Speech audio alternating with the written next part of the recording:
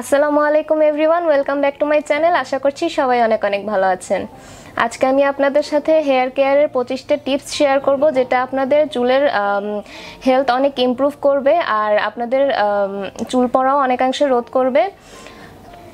তো আপনাদের জন্য প্রথম যে টিপস সেটা হলো যদি চুলে কোনো সিরিয়াস প্রবলেম হয় বা স্ক্যাল্পে যদি কোনো সিরিয়াস প্রবলেম থাকে, তাহলে অবশ্যই ডাক্তারের সাথে কনসাল্ট করা। কারণ আপনাদের অবশ্যই ডাক্তার দেখানো উচিত। না হলে এটা আপনারা দামি শ্যাম্পু বা কন্ডিশনার দিয়েই ইমপ্রুভ করতে পারবেন না, যদি কোনো সিরিয়াস ইস্যু থাকে। এরপরে, আমি এখানে পয়েন্টসগুলো লিখে নিয়েছি, কারণ এতগুলো পয়েন্টস তো আসলে মনে রাখা সম্ভব না। তো, এরপরে আরেকটা হচ্ছে সিজনাল হেয়ার ফল সেকেন্ড যে টিপস সেটা হচ্ছে সিজনাল হেয়ার ফল আপনাদের দেখা যায় যে কোনো কোনো সিজনে আমাদের চুল বেশি পড়ে, আবার কোনো কোনো সিজনে একদমই চুল পড়ে না। তো যদি আপনাদের সিজনাল হেয়ার ফল হয়, সেটা আপনাদের জন্য তেমন কোনো চিন্তার বিষয় না। এটা নিয়ে আপনাদের চিন্তা না করে রেগুলার কেয়ার নিলেই হবে। যেমন মনসুনে মানুষের চুল বেশি পড়ে, যেহেতু ওয়েদার অনেক ভারী থাকে, তো সেজন্য থার্ড নাম্বার টিপস হচ্ছে চুল যখন আপনারা ওয়াশ করবেন, তখন চাইলে লাস্টে ওয়াশ করার সময় আপনারা ফুটানো পানি ইউজ করতে পারেন। মানে সিদ্ধ করা পানি। এতে পানিতে যেসব জার্ম বা ব্যাকটেরিয়া থাকে সেগুলো হচ্ছে ধ্বংস হয়ে যায় আর সেটা আপনার চুলের জন্য ভালো হবে। আর এর আগে যে আপনি নর্মাল পানি ইউজ করেছেন, সেটাতে যদি কোনো হার্মফুল কিছু থাকে, সেটাও আপনার এই পানির সাথে চলে যাবে।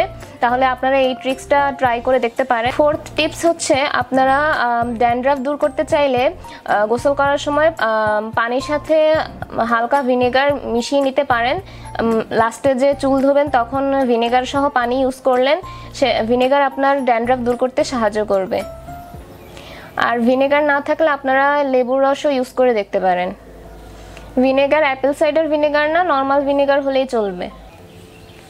পাঁচ নাম্বার টিপস হচ্ছে আপনারা যখন শাওয়ার নেবেন, কখনো ডিরেক্ট শাওয়ারের নিচে মানে ঝর্ণার নিচে দাঁড়াবেন না। এতে কি হয়? পানির ফোঁটাগুলো ডিরেক্ট যখন আমাদের চুলে পড়ে, তখন স্ক্যাল্পে পড়ে, তখন আমাদের চুলের গোড়াটা নরম হয়ে যায়। এর ফলে হেয়ার হেয়ার ফলের প্রবলেমটা বেশি দেখা দিতে পারে। তাই অবশ্যই মগ দিয়ে পানি ঢালার ট্রাই করবেন।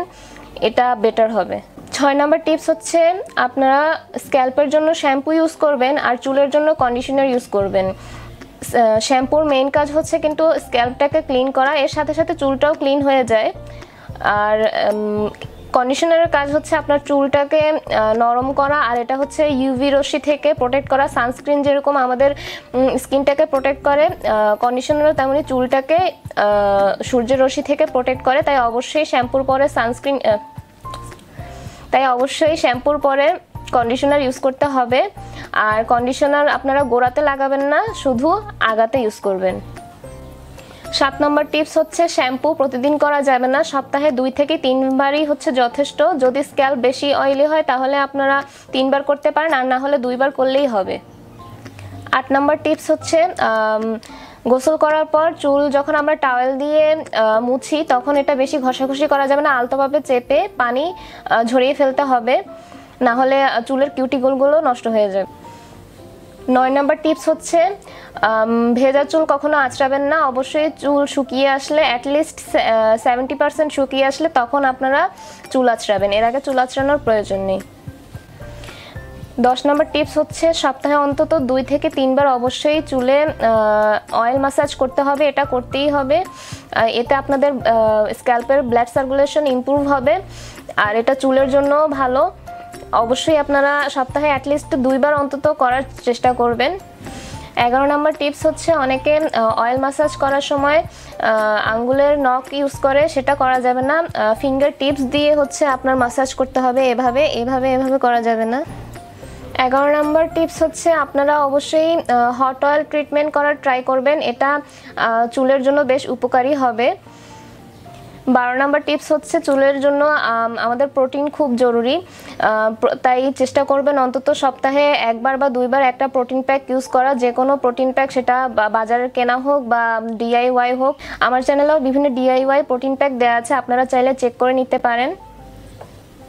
তেরো নম্বর টিপস হচ্ছে, চুল কখনো শক্ত করে বাঁধা যাবে না। খুব লুজ করে বাঁধতে হবে, কারণ যদি টাইট করে বাঁধেন তাহলে এটা আপনাদের চুল পড়া আরও প্রবণতা বাড়িয়ে দিবে। আর চুল বেশি টাইট করে বাঁধলে দেখা যায় যে আমাদের সামনে থেকে চুল টান খেয়ে হচ্ছে এখান, সামনে থেকে চুল কমে যায়, তারপরে মানে কপাল বড় হয়ে যায়, তো সেটা আপনারা খেয়াল রাখবেন যে চুল লুজ করে বাঁধতে হবে, বেশি টাইট করে বাঁধা যাবে না। পনেরো নাম্বার টিপস হচ্ছে ঘুমাতে যাওয়ার আগেও চুল টাইট করে বাঁধা যাবে না, হয় লুজ করে একটা বেনি করে ফেলবেন, অথবা জাস্ট চুলটা যদি লম্বা হয় তাহলে বালিশ থেকে একটু মানে দূরে সরিয়ে রাখবেন যাতে বেশি ঘষা না লাগে।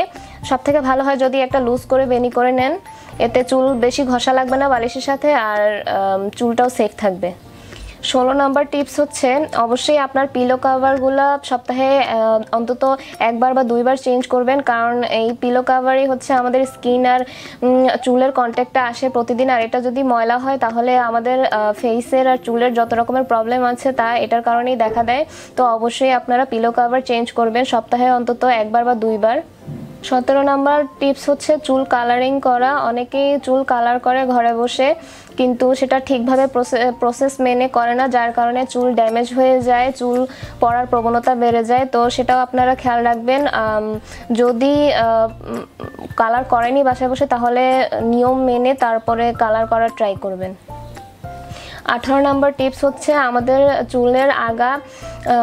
মাস দুই মাস বা তিন মাস অন্তর একবার কাটাই উচিত ট্রিম করে নেওয়া উচিত। এতে আমাদের যে আম, আগা ফাটা সমস্যা সেটাও দূর হয়ে যাবে। আর এটা চুলের গ্রোথের জন্যও ভালো। আর যদি ধরেন যে আপনার চুল এক একটা এক এক সাইজের তাহলে হচ্ছে চুল এভাবে ধরে জাস্ট এভাবে পেঁচিয়ে নেবেন। এভাবে পেঁচানোর পর দেখা যাবে যে এখান থেকে বিভিন্ন ছোট ছোট মাথা বের হচ্ছে এক একটা চুলের। তো সেগুলো কেটে ফেলবেন। এভাবে আপনারা চাইলে ট্রিম করতে পারেন। আঠারো নম্বর টিপস হচ্ছে আমরা চুলে বিভিন্ন রকমের স্টাইলিং করি, স্ট্রেটনার, কার্লার ইউজ করি হিট ইউজ করি, এতে আমাদের চুল অনেক বেশি ড্যামেজ হয়ে যায়। যদি ইউজ করতেই হয় তবে ভালোভাবে প্রোটেকশন নিয়ে তারপরে হচ্ছে ইউজ করবেন। আর যতটা সম্ভব হচ্ছে ইউজ না করার ট্রাই করবেন। আপনার ন্যাচারাল চুলই অনেক সুন্দর। বিশ নাম্বার টিপস হচ্ছে, চুল ধোয়ার সময় গরম পানি ইউজ করবেন না, অবশ্যই ঠান্ডা পানি ইউজ করবেন, কারণ গরম পানি ইউজ করলে আপনার চুলের কিউটিকলগুলো ওপেন হয়ে যায়, যার ফলে চুল অনেক বেশি রাফ আর ড্রাই দেখায়। এজন্য সবসময় চুল ধোয়ার সময় অবশ্যই ঠান্ডা পানি ইউজ করবেন। সেটা শীতকাল হোক আর গ্রীষ্মকাল হোক, কষ্ট করে হলেও ঠান্ডা পানি ইউজ করার ট্রাই করবেন। একুশ নম্বর টিপস হচ্ছে অবশ্যই আপনাদের বেশি বেশি পানি পান করতে হবে। দিনে অন্তত আট গ্লাস পানি অবশ্যই পান করতে হবে। এটা আপনার চুলের গ্রোথের জন্য অনেক দরকার। আর এটা আপনাদের শরীরের জন্য অনেক দরকার। তো দিনে অন্তত আট গ্লাস পানি অবশ্যই পান করার ট্রাই করবেন। এবার টিপস হচ্ছে, আমাদের খাওয়া দাওয়ার দিকেও অবশ্যই খেয়াল রাখতে হবে। আমরা যদি ভিতর থেকে সুস্থ না থাকি তাহলে কোনো কিছুতেই কিছু লাভ হবে না। যতই দামি দামি প্রোডাক্ট ইউজ করি না কেন, তো অবশ্যই খাবারের মধ্যে প্রোটিন জাতীয় খাবার বেশি গ্রহণ করতে হবে। কারণ হচ্ছে প্রোটিন আমাদের চুলের জন্য অনেক বেশি উপকারী। সো প্রোটিন জাতীয় খাবার খাওয়ার ট্রাই করবেন। তেইশ নাম্বার টিপস হচ্ছে আপনারা চাইলে হেয়ার গ্রোথের জন্য এখন কিছু ডার্মা রোলার পাওয়া যায়। ডার্মা রোলার চুলের জন্য পাওয়া যায়, আবার ফেসের জন্য ইউজ করা হয়। তো আপনারা চাইলে সেটাও ইউজ করে দেখতে পারেন। ডার্মা রোলারের কনসেপ্ট নিয়ে আমি আরেকদিন কথা বলব। সেটা আপনার চুলের জন্য উপকারী, তো আপনারা ট্রাই করে দেখতে পারেন। চব্বিশ নম্বর টিপস হচ্ছে আমাদের চুলের জন্য ভিটামিনস অনেক বেশি জরুরি। তো আপনারা চাইলে ডাক্তারের সাথে কনসাল্ট করে বিভিন্ন রকমের ভিটামিনসের সাপ্লিমেন্টসও নিতে পারেন। যদি আপনাদের ভিটামিনসের অভাব থাকে পঁচিশ নাম্বার টিপস হচ্ছে এক্সারসাইজ আপনারা এমন এক্সারসাইজ করবেন যেটাতে আপনাদের মাথাটা সামনের দিকে ঝুঁকে থাকে। এতে কি হয় ব্লাড সার্কুলেশন ইমপ্রুভ হবে, এতে ব্লাড ফ্লোটা আপনার মাথার দিকে আসবে। আর যেমনটা আমরা নামাজ পড়ার সময় সেজদা করি, তখন কিন্তু আমাদের ব্লাড ফ্লোটা মাথার দিকে আসে। তো যারা নন মুসলিম তারা বিভিন্ন এক্সারসাইজের মাধ্যমে এটা ট্রাই করে দেখতে পারেন। তো এই ছিল আজকের ভিডিও হোপফুলি আপনাদের ভালো লেগেছে। ভালো লেগে থাকলে লাইক কমেন্ট শেয়ার ও সাবস্ক্রাইব করতে কিন্তু ভুলবেন না। আর আপনার কী ধরনের ভিডিও দেখতে চান অবশ্যই কমেন্ট বক্সে জানাবেন। আজকের মতো এখানেই বিদায় নিচ্ছি। আল্লাহ হাফেজ।